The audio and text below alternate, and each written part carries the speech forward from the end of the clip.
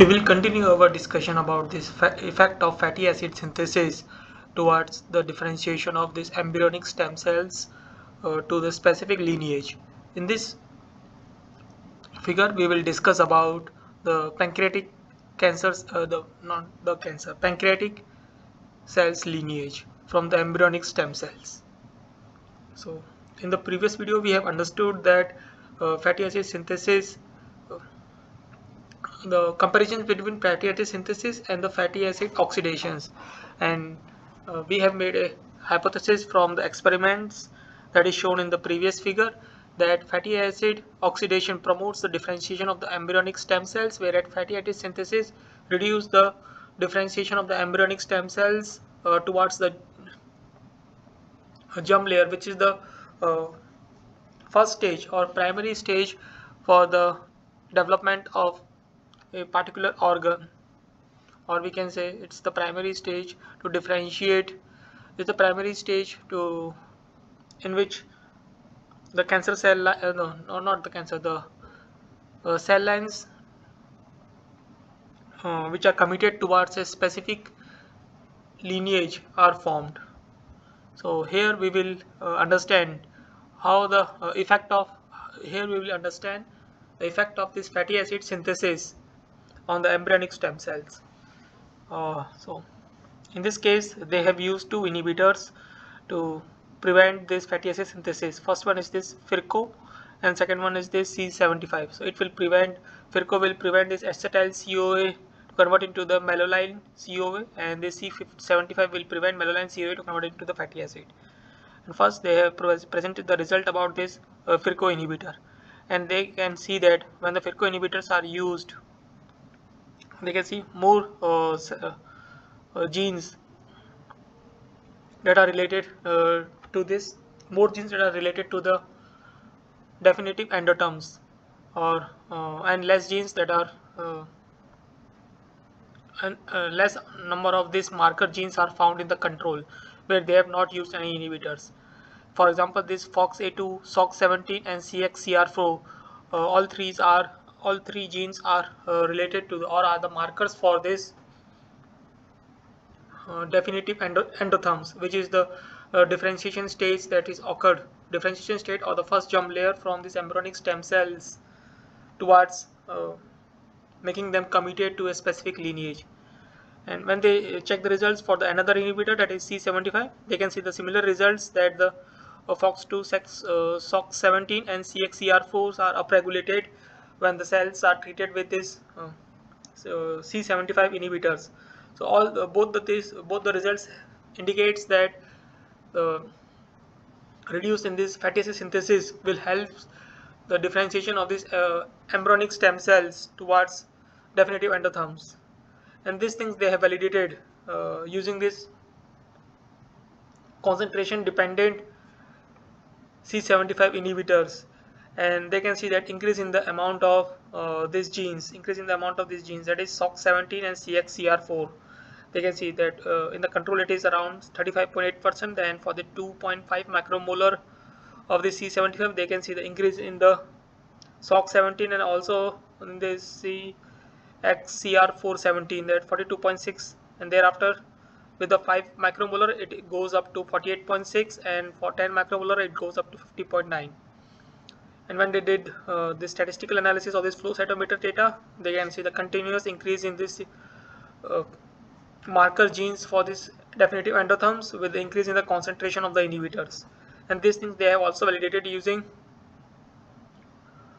using uh, fluorescence measurements of uh, some of the markers such as FOXA2 they can see that increase uh, clear difference between control and C75 inhibitors and this is the merge populations and also these uh, marker genes for these embryonic stem cells are reduced. That can be uh, seen in this control versus C75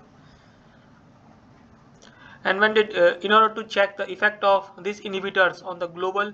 uh, transcriptomes they did this uh,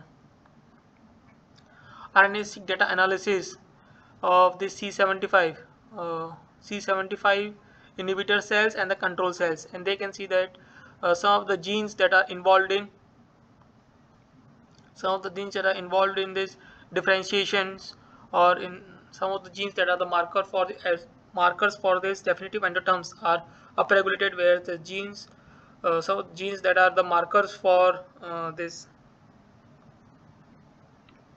uh, this red indicates the upregulation and the blue indicates the downregulation. So genes uh, that are involved in the genes that are the markers for these definitive endoderms are up upregulated whereas the genes that are the markers for that are markers for these embryonic stem cells are downregulated. In the case of the C75 inhibitor cells whereas for the control it is quite opposite that we can see that uh, that we can see that the genes that are the markers for these embryonic stem cells are uh, upregulated in the control case compared to the compared to the genes that are the markers for this endoderm definitive endoderms. So this indicates that uh, the C75 helps in the differentiation of these embryonic stem cells uh, so that they can become committed to a specific lineage. And when they did the gene ontology analysis, they can find the similar uh, things that is the cells, uh, the pathways that are upregulated are in this uh, cell differentiation stage uh, this tissue development and the other uh, developments pathways. Whereas the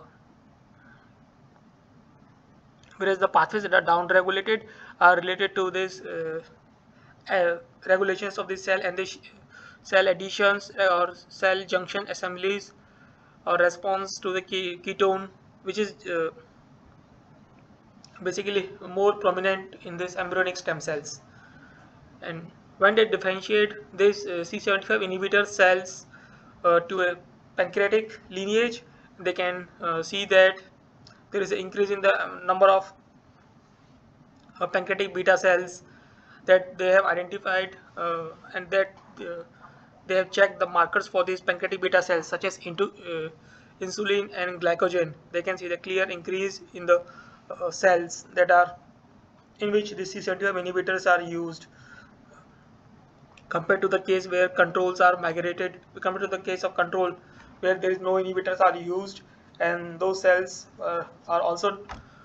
uh, subjected to the differentiation towards this pancreatic uh, pancreatic cell pancreatic cell lineage or pancreatic lineage. So this clearly indicates that C70 uh, the inhibition of this fatty acid synthesis helps in the differentiation or accelerated the differentiation of embryonic stem cells towards a specific lineage and these things uh, about this pancreatic lineage differentiation they are also validated using this NX uh, using immunostaining of this NX NKX1 or C peptides which are the markers for this pancreatic lineage. And they can see that in the case of this C75 and in the case of this C75 both this NX NKX1 and C peptides are increased compared to the control case. Now this uh, indicates or this things this results indicates that uh, uh, the fatty acid synthesis uh, or decrease in the fatty acid synthesis helps in the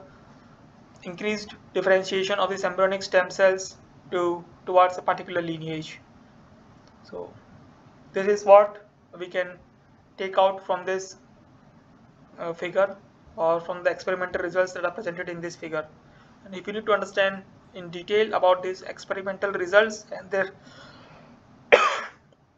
supplemental data. You can go through the reference that has been provided in the description. So that's all for this video. Thank you for your time